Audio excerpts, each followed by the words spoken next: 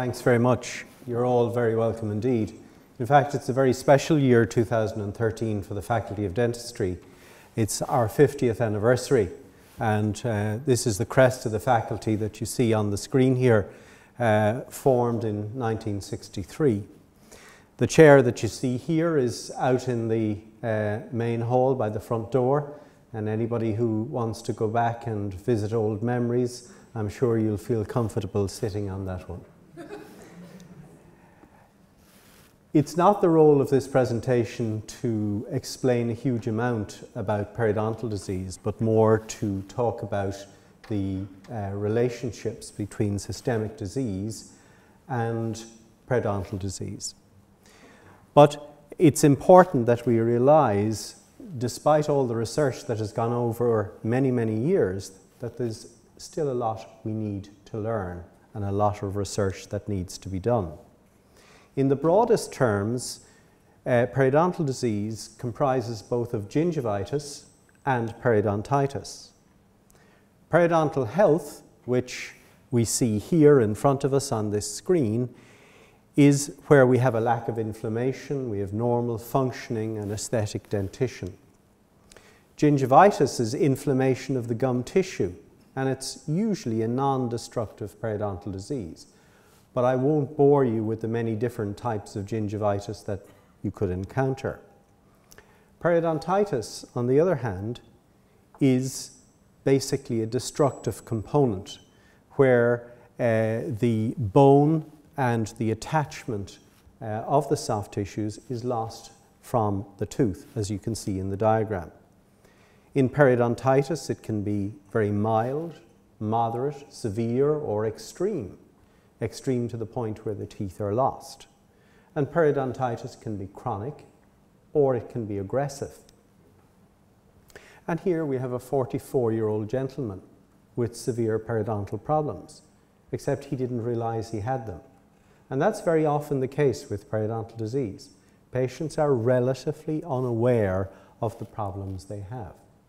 They may be aware of bleeding gums. They may be aware that their gums are receding but they may be largely unaware of the severe bone loss that you can see on these x-rays here because the bone should be up in this region and you can up in this region and you can see where it's been lost. Periodontal diseases are common and affect um, a lot of people right the way around the world. And mild to moderate forms affect 30 to 50% of adults and severe forms affect quite a smaller number, 5 to 15% of adults in the US. And periodontitis has an even higher prevalence in developing countries, and there's quite a, an amount of global variation.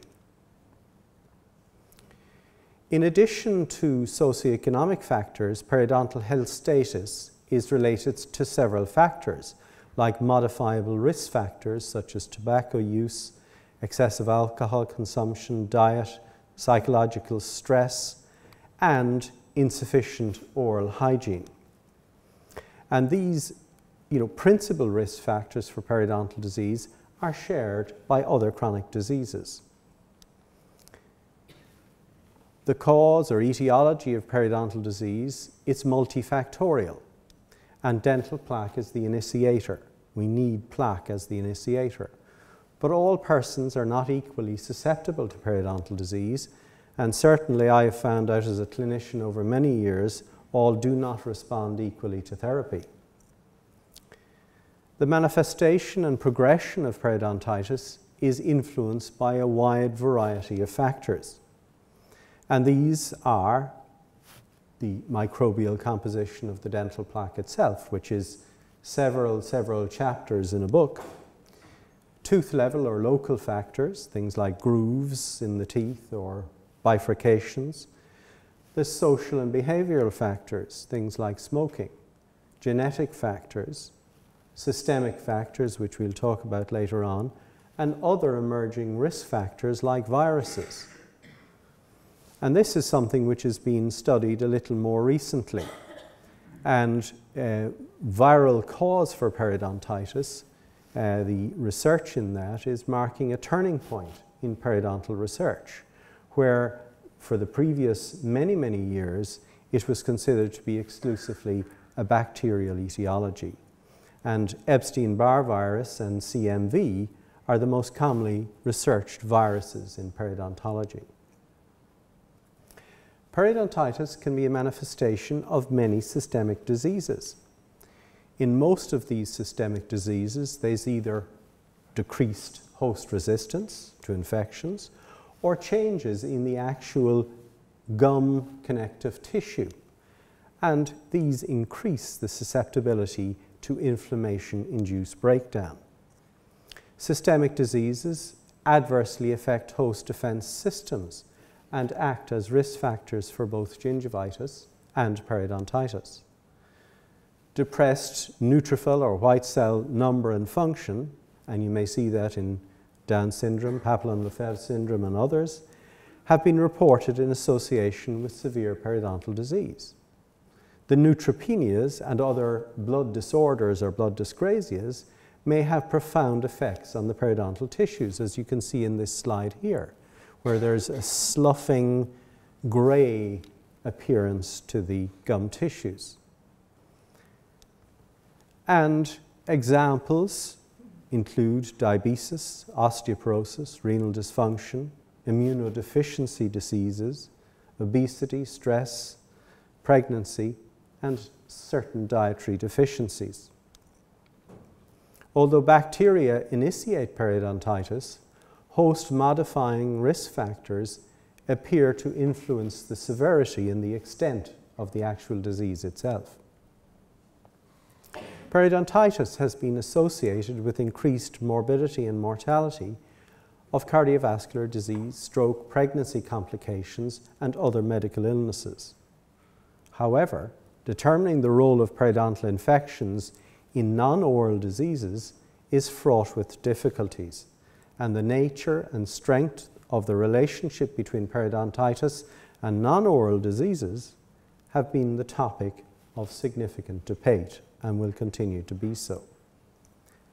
There are certain questions we should ask. For instance, who will develop periodontitis? Could it be me? Could it be my sons or daughters? How can we predict it? What systemic impact will periodontal disease have? And what effect will systemic disease have on the periodontium and oral soft tissues. Over the past number of years, we've learned a lot about the relationship between risk factors and the development and progression of periodontal diseases. And data coming mainly from cross-sectional studies have identified things like infrequent dental attendance, and certainly the government are doing a lot to help us there at the moment, um, smoking, diabetes, stress, genetic factors, as well as specific bacterial species as possible risk factors or risk indicators for periodontal disease.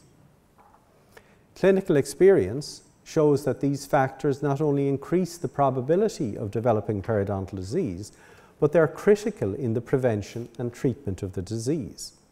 And assessing the patient's risk profile is of the utmost importance for the success of treatment. And the objectives of treatment have to be determined on the basis of the patient's needs and based on the patient's risk profile.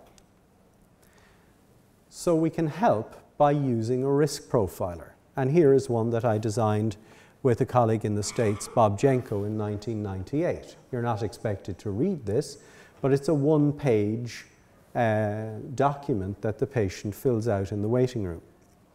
And we use that in association with a medical health questionnaire. So it's allied to the medical health questionnaire, which the patient fills in and then it's reviewed by the clinician. The purpose of our initial consultation is to collect all the relevant information and help define the patient's profile. And we need to find out certain things about patients, their general health, their socioeconomic background, and their dental history, and of course, their chief complaint. And our diagnostic procedures should enable us to identify risk factors or risk indicators that can influence treatment decisions and treatment outcomes. It's well recognized that socioeconomic level is a good marker of various risk factors for periodontitis, such as oral hygiene, provision of dental care, behaviors, and ethnicity, and therefore this factor may be a good indicator of the, the level of periodontitis in a particular population.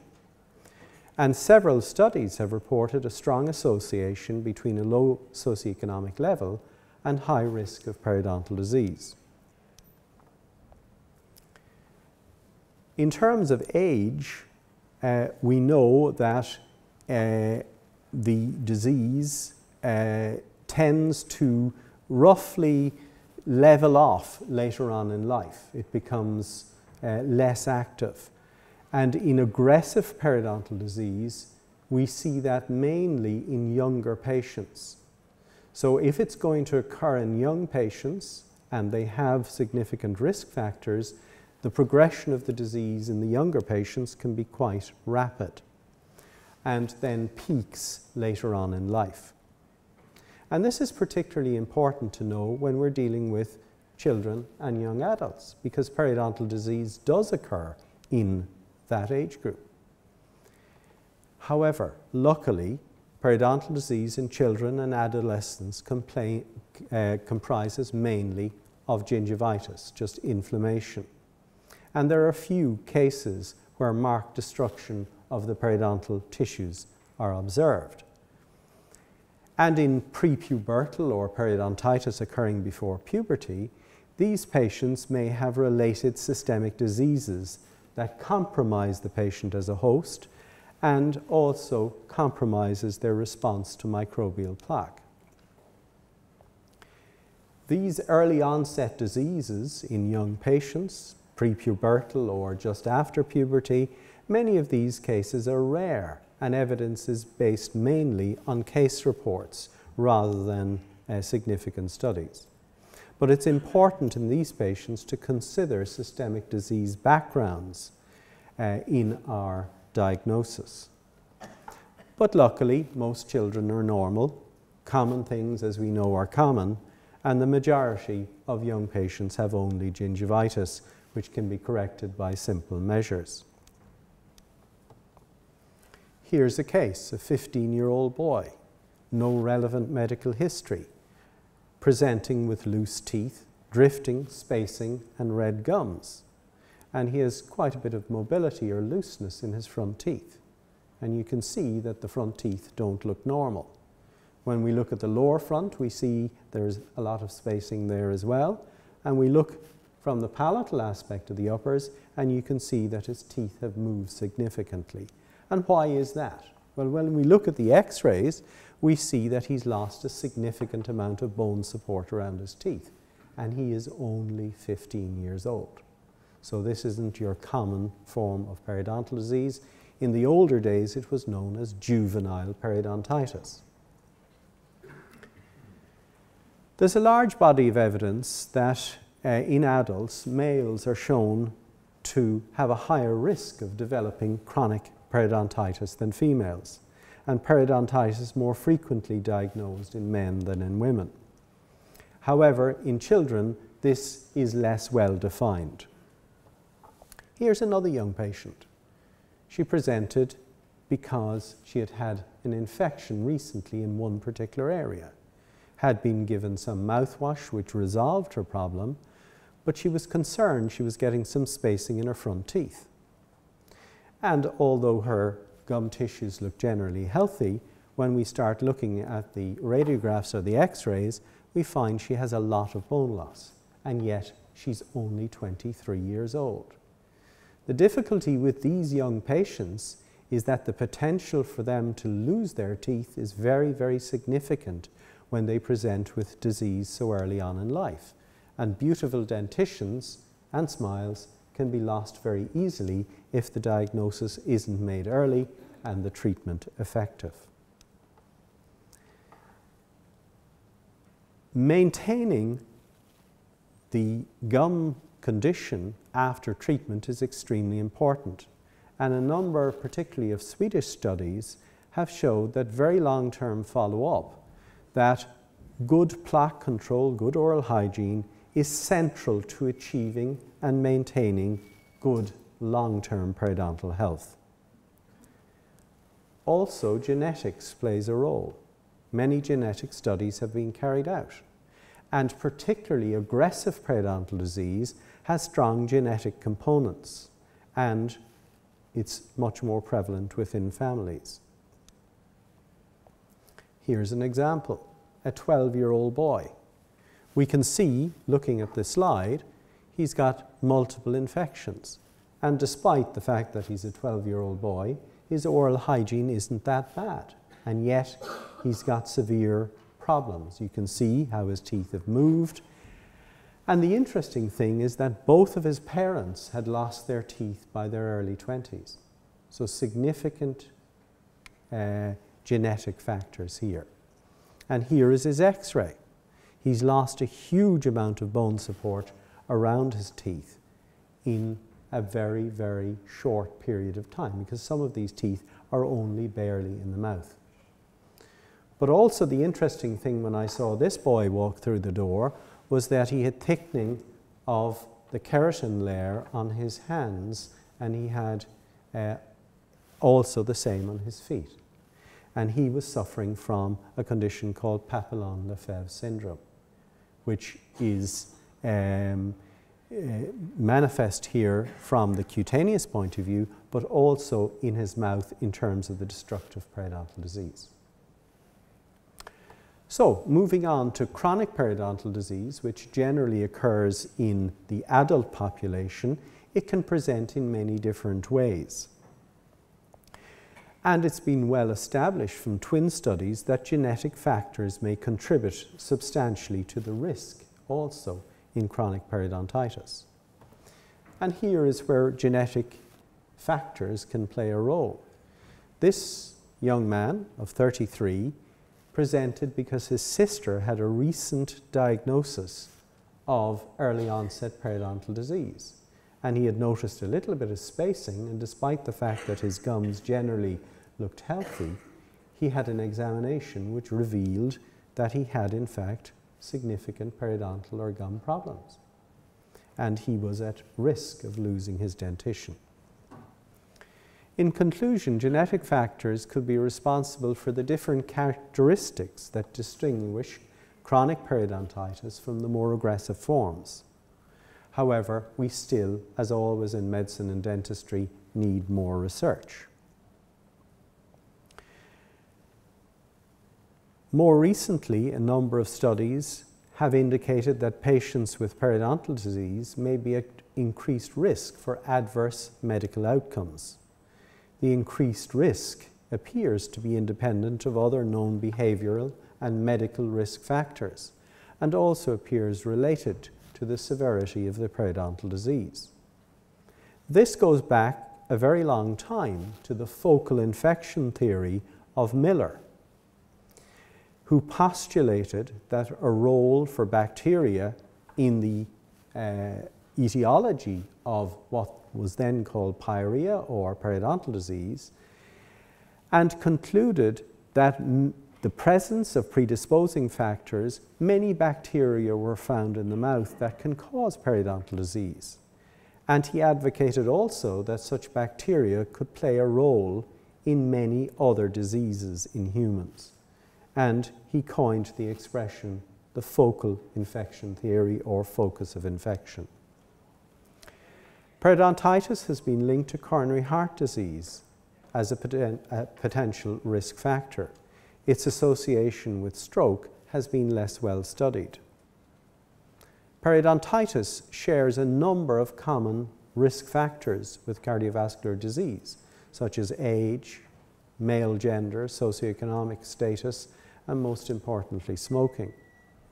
Therefore, the question arises as to what the nature of the association between periodontitis and cardiovascular disease is. Does it arise because of interaction between confounding factors such as smoking, or is it truly causal in nature? Cardiovascular disease and periodontal disease are both chronic inflammatory diseases.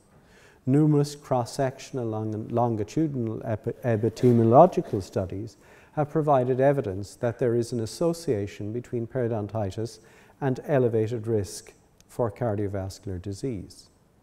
And in the last 10 or so years, a rising number of investigations have studied the possible association between chronic oral infections and cardiovascular disease. And these studies were based on the hypothesis that periodontal disease may confer an independent risk for cardiovascular disease. However, there still is controversy whether these associations are causal or whether there are common etiological factors common to both diseases. And we really do need to bear that in mind. The answer is still unclear. And recent studies have focused on the systemic effect of periodontal intervention or treatment on indicators of cardiovascular disease, such as serum markers of inflammation, serum lipid levels, and measurements of endothelial function. In the association between periodontal infection and cardiovascular disease is causal, effective periodontal treatment should lead to improvements of systemic inflammation load. And successful periodontal treatment could lower the risk of cardiovascular events or even prevent onset and progression of the disease. According to the available data, periodontal interventional therapy has a positive impact on established risk factors for cardiovascular disease. And these interventional studies have strengthened the evidence for an association between periodontitis and cardiovascular disease and indicate but do not prove a causal link. Achieving and maintaining oral and periodontal health is an integral part of the holistic approach to general health, along with other health promoting behaviours like healthy diet, exercise, and smoking cessation, which certainly the dentist can play an important role in. And the dental team must assume an important role in the control of such risk factors and promoting a healthy lifestyle. We've long known that diabetes is associated with periodontitis and is a true risk factor for periodontal disease, clinically associated with increased susceptibility to infection and individuals who have both types of disease, uh, both types of diabetes, type 1 and type 2, are at increased risk for periodontal disease. And children and teens with diabetes show accelerated periodontal destruction, which is related to the metabolic control of the diabetes periodontal disease is more severe and prevalent in patients with type 1 and type 2 diabetes on the basis of multiple global studies. And large scale studies, particularly in a group of Pima Indians in the US, have shown significant associations between periodontal disease and diabetes, and both type 1 and type 2. Here's a diabetic patient, 32 year old male, insulin dependent, poorly controlled, and everything about the patient is somewhat non compliant. He's overweight, he's poor oral hygiene, and he's poorly motivated. I saw him for assessment. He declined treatment, and the next time I saw him, he wanted the implants. So, what's the risk that now, wishing to have dental implants, that he will maintain his implants over the rest of his life? Are his risk factors still the same in terms of his implants as they were for his natural teeth? Because his lifestyle isn't going to change. Also, the duration of diabetes, measured by the age of onset, was found to be an important risk factor for future potential destruction. And individuals with poor metabolic control of their diabetes had increased attachment loss compared to well controlled subjects, despite similar levels of oral hygiene. Here's an unfortunate case 29 year old, diabetic since childhood, insulin dependent, poorly controlled, and additionally smokes. Unfortunately, this lady died of diabetic complications about two years after this slide was taken. Interestingly, the reverse possibility that the periodontal infection may exacerbate the diabetic condition is now receiving increasing attention. This has been looked at in several studies and is still ongoing. Worsening periodontal disease adversely affects glycemic control, so it's harder to keep uh, it under control. And it's been suggested that inflammation may be one of the links between the two diseases. And treatment of periodontal disease, especially in patients with uh, elevated glucose levels, imp improves glycemic control.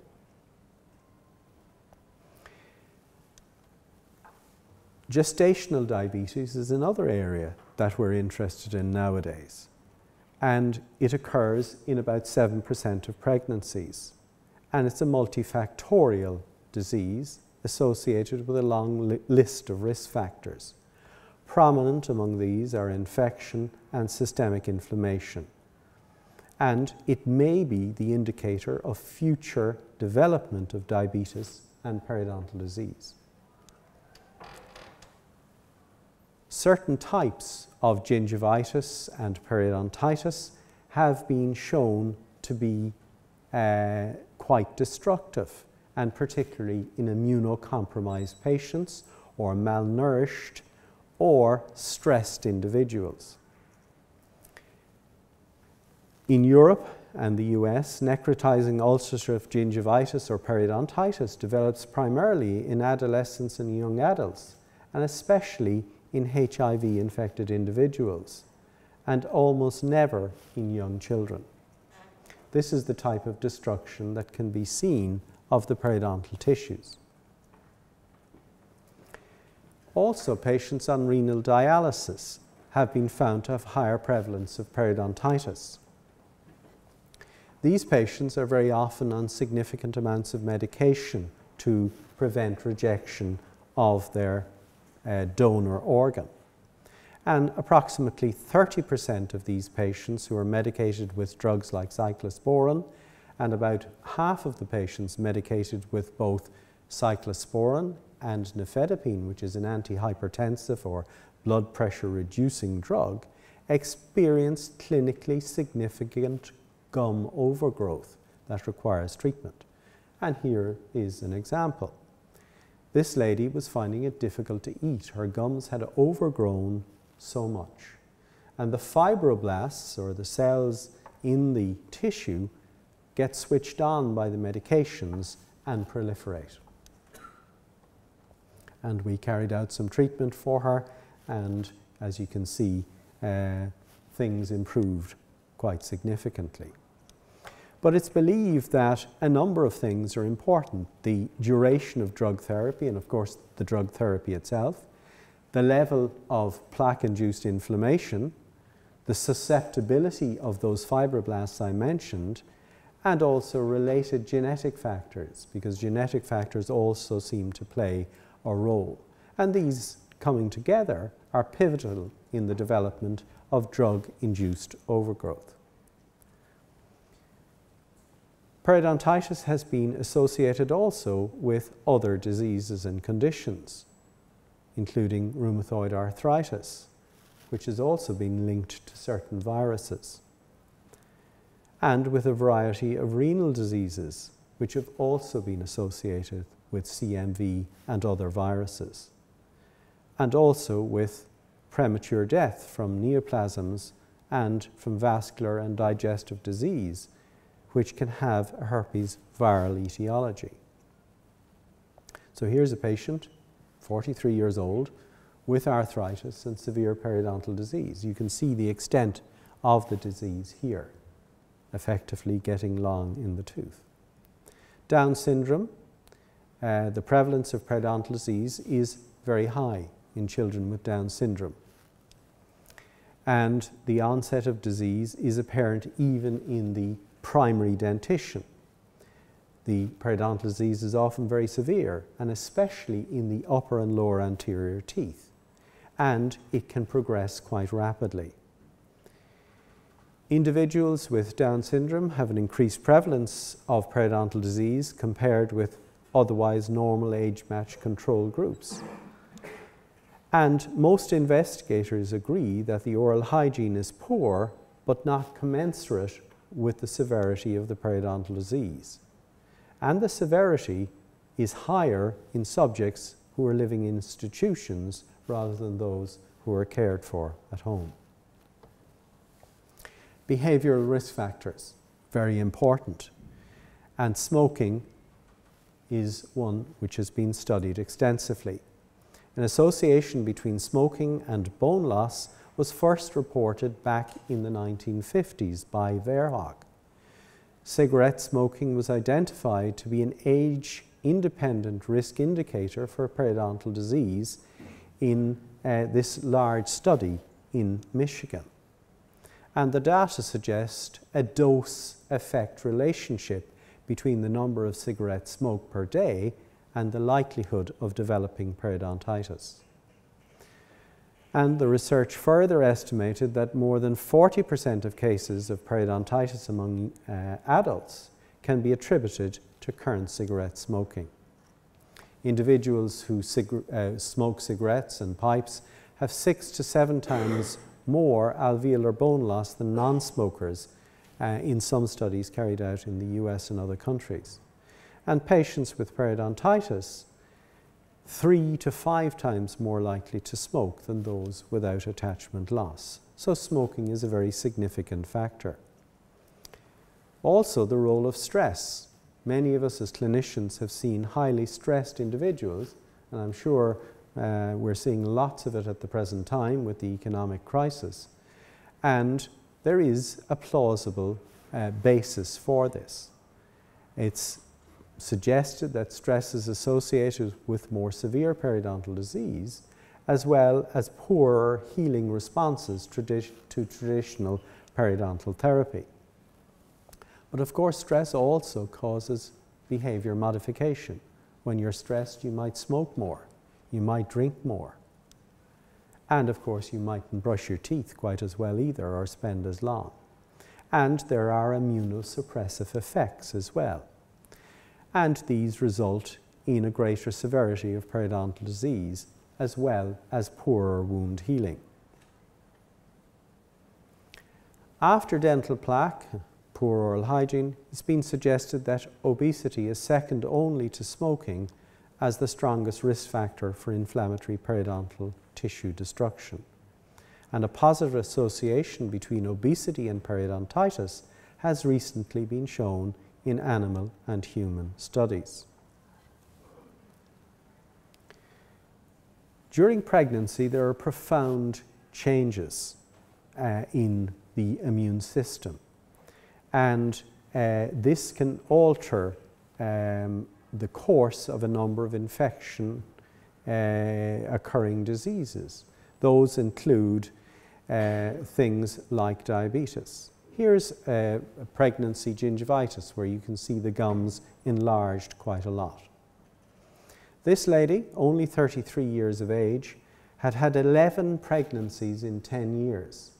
She had some ill-fitting crowns, a high smile line with incompetent lips, and resulted in severe inflammation, which was extremely difficult to control. So, very often there are multiple factors involved in such a condition. It's also been suggested that periodontal infections may increase the risk of adverse pregnancy outcomes. You may see strange things in pregnant patients, little growths that occur between the gums, the so-called pregnancy epulis, and you may even see these on the tongue and other tissues. During the course of a normal pregnancy, there are profound changes occur in both mother and developing baby. And some of the pregnancy induced immunological modifications in the mother increase her susceptibility to a number of infections including periodontal disease. And women with gestational diabetes during pregnancy may be at greater risk for developing more severe periodontal disease than pregnant women without um, gestational diabetes. Also, you can see changes in the gingival tissues during and after the menopause. And quite often, uh, these are where the tissue or the gum tissue becomes thin and prone to inflammatory changes. And we may see where the tissues are very fragile and they may desquamate or they may peel off quite easily and become quite sore.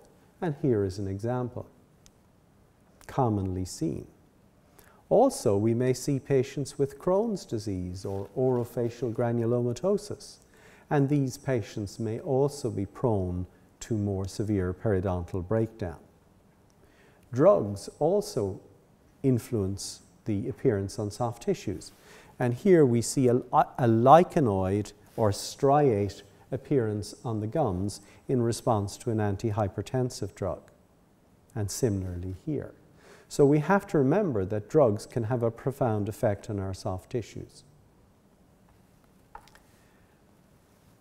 Overall, we need to consider that we're not dealing with any one particular risk factor when we're talking about periodontal disease.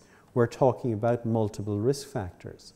And when we do out a patient's profile and we identify the various risk factors from their risk profile, we build up that profile, which we can use in terms of how we treat that patient.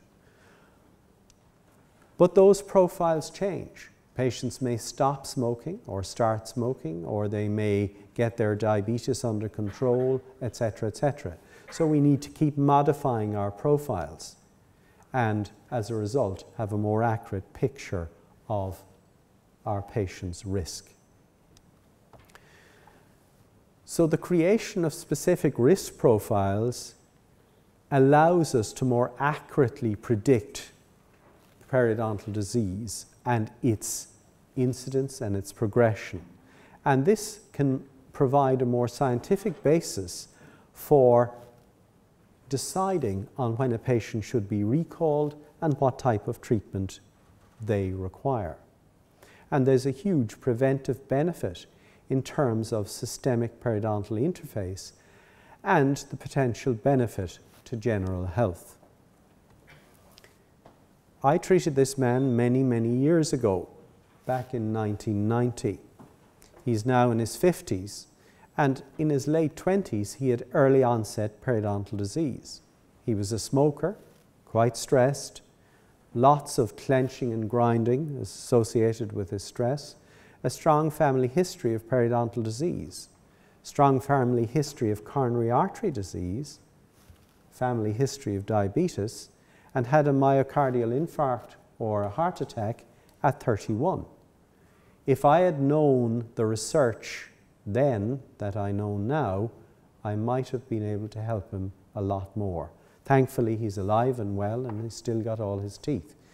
But now we've learned so much in that time uh, which has helped us to help our patients into the future. So in conclusion, although all risk factors cannot be modified, it now may be possible to identify people at risk for progressive periodontal disease and intervene to alter or modify some of these risks. The current theory that oral conditions may negatively affect systemic health are no longer largely unproven and speculative, but there still is a need for further continuing well controlled studies to be carried out. I'm sorry, I hope I haven't bored you with my hobby horse. And for my last slide, despite the obesity and all the rest of it, my dinner is waiting. Thank you very much.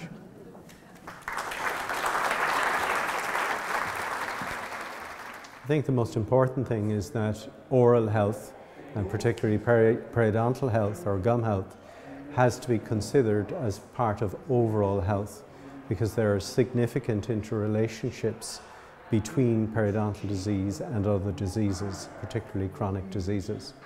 So an unhealthy periodontal condition may leave them at risk from other conditions, and certain medical conditions may leave them at risk from periodontal disease. So that really would be my take home message.